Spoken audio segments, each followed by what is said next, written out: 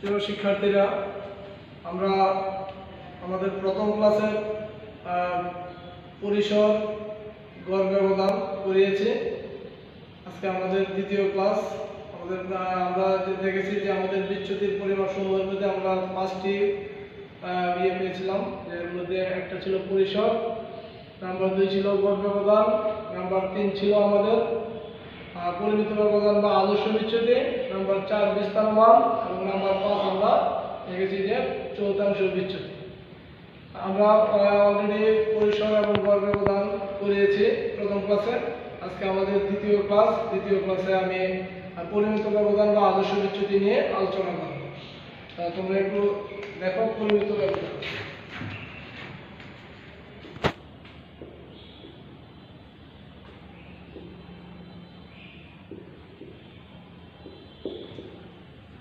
পরিমিত ব্যবধানের ইংরেজি শব্দ আমরা ওই দিন জেনেছি আমি লিখে দিয়েছিলাম যে পরিমিত ব্যবধান হচ্ছে ইংরেজিতে আমরা বলি স্ট্যান্ডার্ড ডিভিয়েশন পরিমিত ব্যবধান বা আদর্শ বিচ্যুতিকে আমরা বলি স্ট্যান্ডার্ড ডিভিয়েশন এটা একটা জিনিস একটু জানো, যে আমরা পরিমিত ব্যবধানকে একটু খেয়াল করো তোমরা।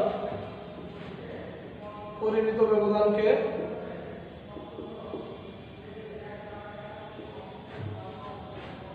ব্যবধানকে গ্রিক শব্দ গ্রিক শব্দ সিগমা দ্বারা, এটার নাম হচ্ছে সিগমা, এই চিহ্নটা হচ্ছে সিগমা দ্বারা প্রকাশ করা।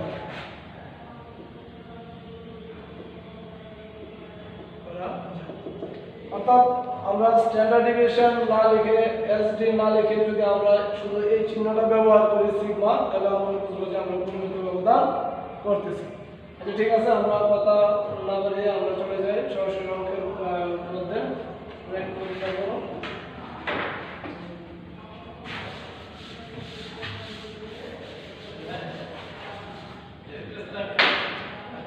গড় ব্যবধানের মতো গড় ব্যবধানের মতো পরিমিত ব্যবধানকে আমরা দুটি করতে পারি, এই বিন্যস্ত দুটি উপায় আমরা করতে পারি, এক হচ্ছে অবিন্যস্ত উপায় নাম্বার হচ্ছে বিন্যস্ত উপায়। তাহলে আমরা প্রথমে অবিন্যস্ত এটা একটু দেখি, তারপর আমরা বিন্যস্ত আসব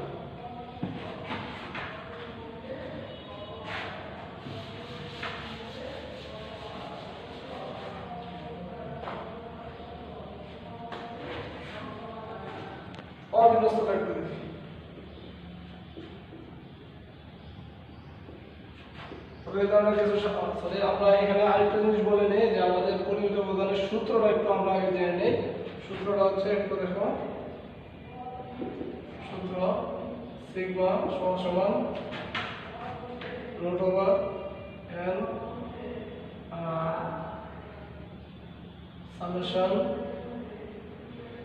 F X square minus N by summation F এক্সের এই সূত্রের মাধ্যমে আমরা পরিমিত ব্যবধানকে নির্ণয় করি। সিগমা আমরা একটু বিশ্লেষণ দেখি সূত্রের। সিগমা সমান সমান হচ্ছে পরিমিত ব্যবধান। ব্যবধান। হচ্ছে বর্গমূল। বর্গমূল। সামেশন, যোগফল। যোগফল, এফ হচ্ছে ফ্রিকোয়েন্সি বা পূর্ণপূর্ণ বা গণসংখ্যা আমরা যাই বলি, পূর্ণপূর্ণ এটাকে আমরা গণসংখ্যাও বলে গণসংখ্যা এক্স সাধারণত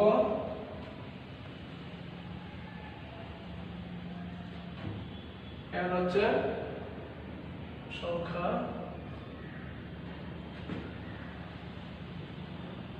সংখ্যা। এটা হচ্ছে আমাদের সূত্রের বিশ্লেষণ।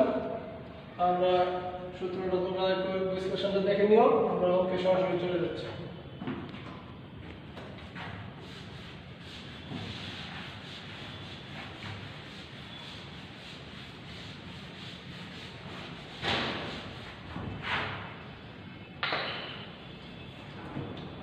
তাহলে এরকম কিছু সামান্য দেওয়া আছে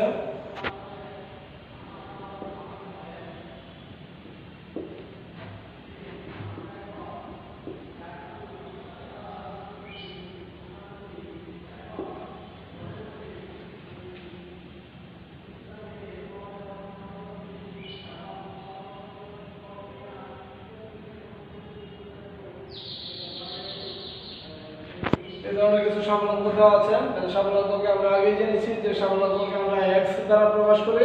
আমরা একটু লিখি এখানে x পনেরো, দশ, এগারো, বারো নয় আমাদের প্রথম কাজ হচ্ছে x গুলিকে যোগ করা। যোগ করলে আমরা সামেশন চিহ্ন ব্যবহার করব সামেশন x দেখি আমরা কত হয়? ষোলো, ষোলোর পাশে একুশে, এক হলো সেভেন্টি ওয়ান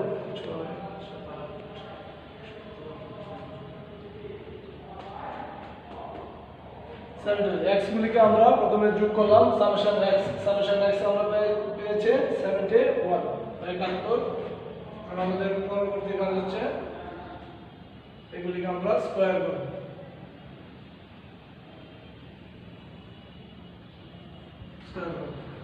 পনেরো পনেরো স্কোয়ার মানে পনেরোকে পনেরো দ্বারা আমরা গুণ করব। পনেরো গুণ পনেরো দুইশো পঁচিশ,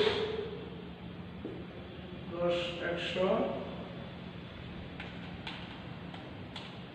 একশো একুশ, একশো চুয়াল্লিশ, একাশি,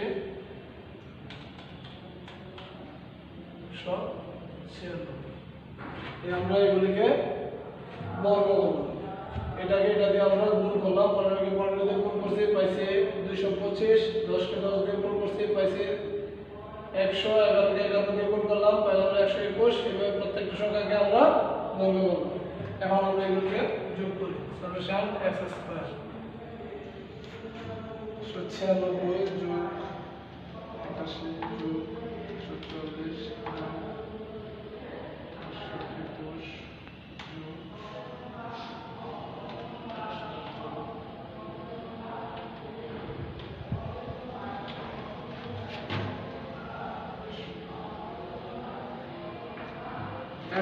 স্কোয়ার আমরা যোগ করলাম, যোগ করে আমরা পেলাম আটশোশো সাতষট্টি।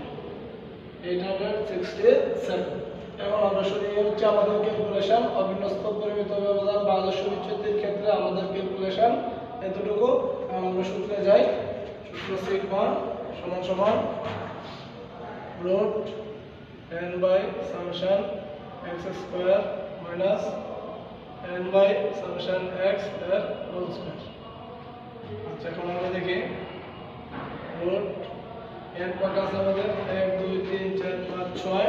এর ছয় এক্স স্কোয়ারের মান আমরা পাইলাম আটশো সাতষট্টি মাইনাস এন সিক্স এটার মান হচ্ছে সেভেন্টি ওয়ানের হোল স্কোয়ার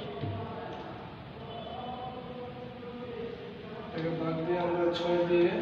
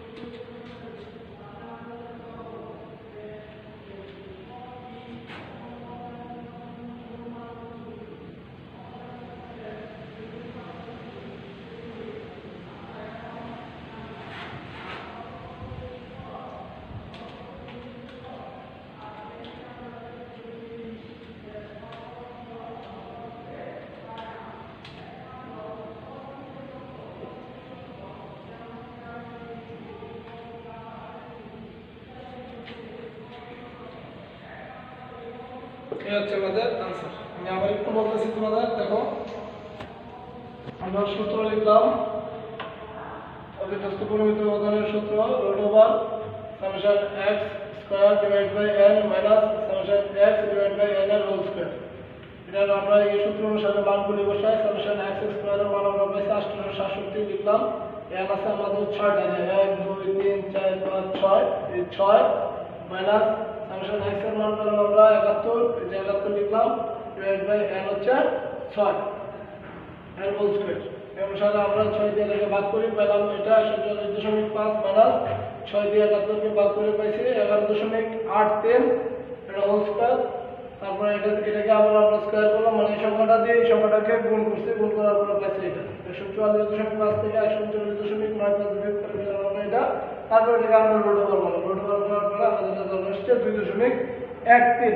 এই হচ্ছে আমাদের আনসার এই হলো আমাদের অবিন্যস্ত ব্যবস্থা আমরা একটু বলি, আমাদের এই ধরনের কিছু সাবলাঙ্ক দেওয়া থাকবে। এই সাবলাঙ্কগুলিকে সাবলাঙ্ককে আমরা জানি যে আমরা এক্স দ্বারা প্রকাশ করে। তাহলে আমরা এক্স লিখলাম এক্স লিখে সাবলাঙ্কগুলিকে আমরা লিখলাম এভাবে। লেখার পর এগুলি এক্সের যোগ করলাম সামেশন এক্স যোগ করার পরে এক্সের আমরা স্কোয়ার করলাম এই প্রত্যেকটা সংখ্যাকে প্রত্যেকটা সংখ্যা দিয়ে গুণ। পনেরো দিয়ে যেমন যেমন পনেরো গুণ পনেরো, সমান সমান হচ্ছে দুইশো পঁচিশ। এইভাবে প্রতিটা সংখ্যাকে আমরা কি করলাম? গুণ করলাম প্রতিটা সংখ্যা দিয়ে, তারপর আমরা যে মানগুলি পেলাম এটাকে আবার আমরা যোগ করলাম সামেশন এক্স স্কোয়ার এক্স স্কোয়ারে আমরা এই মানটা পাইছি। মানটা পাওয়ার পরে আমরা সরাসরি সূত্রে চলে গেলাম। সূত্র অনুসারে আমরা মান বসাই আমাদের রেজাল্ট এটা হচ্ছে আমাদের পরিমিত ব্যবধান। আশা করি তোমরা বুঝতে পেরেছ। আমরা এখন বিনস্ত বিন্যস্ত, অবিন্যস্তটা শেষ করলাম। আমরা বিন্যস্ত উপায়ে পরিমিত ব্যবধান নির্ণয় করে একটু সবাই খেলো খেলব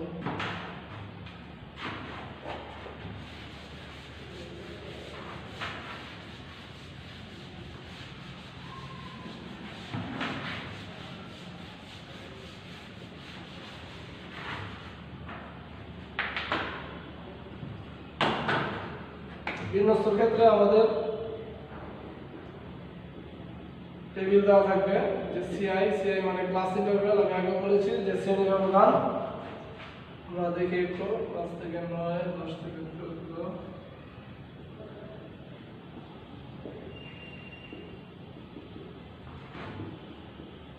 এফ মানে ফ্রিকোয়েন্সি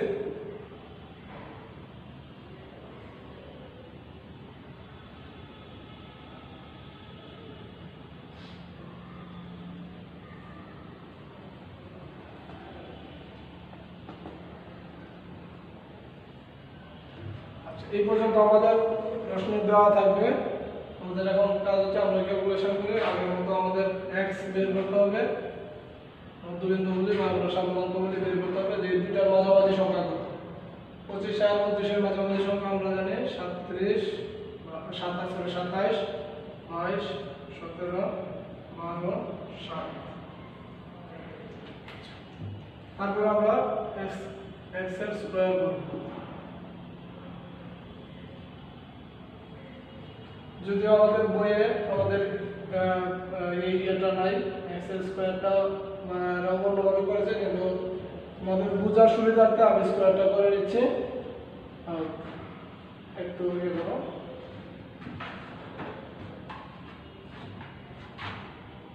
সাতাইশ, একটু সাতশো উনত্রিশ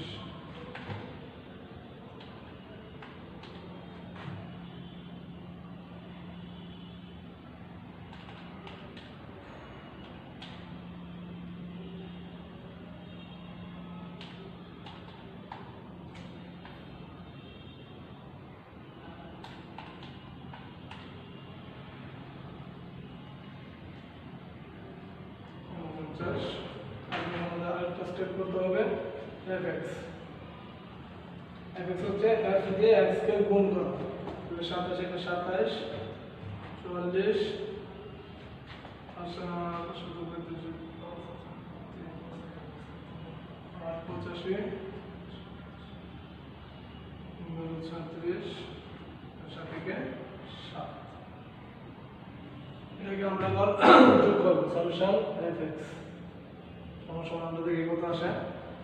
তেরো প্লাস আঠারো বাইশ দুই পাঁচ তেরো একশো নিরানব্বই।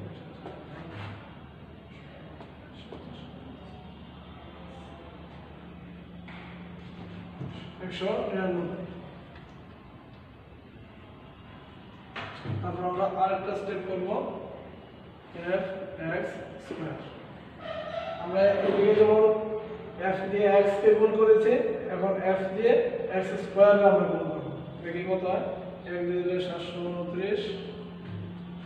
দুই দিয়ে আমরা এটাকে দিব দুই চার দোকানে আট আর দোকানে ষোলো ছয় আর হলো এক, আর চার দোকানে আট হলে গেল নয়। আর পাঁচ দিয়ে আমরা এটাকে দিব পাঁচ পঁয়তাল্লিশের পাঁচ।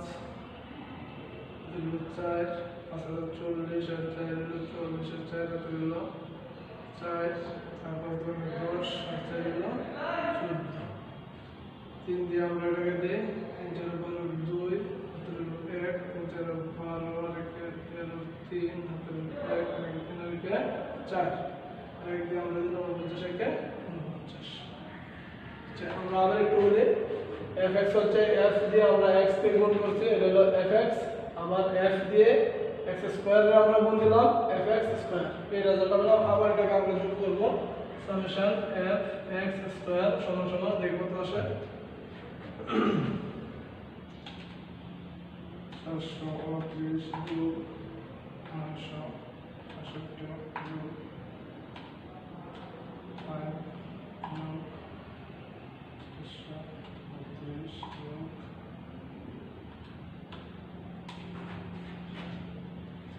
সিক্স টু থ্রি হচ্ছে আমাদের এটার যুক্ত এখন আমরা সূত্রে চলে যাই। সিগমা সমান সমান রুট n by summation f x square minus n by summation f x এর whole square. আমরা একটু দেখি। এখানে এখানে আমাদের আছে বারো এটার মান আমরা পেলাম হচ্ছে একশো নিরানব্বই minus three six two three minus N হচ্ছে বারো। একশো নিরানব্বই তাহলে আমাদের দেখি কত আসে নয় বারো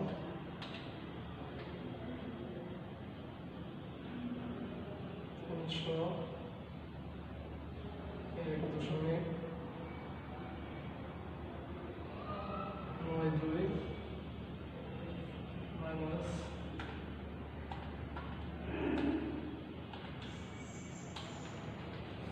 ষোলো দশমিক পাঁচ আট এক উনস্পট তিনশো এক দশমিক নয় দুই মাইনাস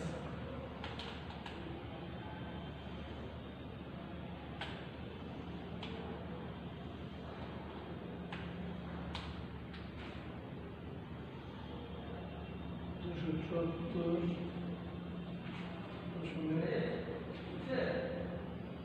নয় শূন্য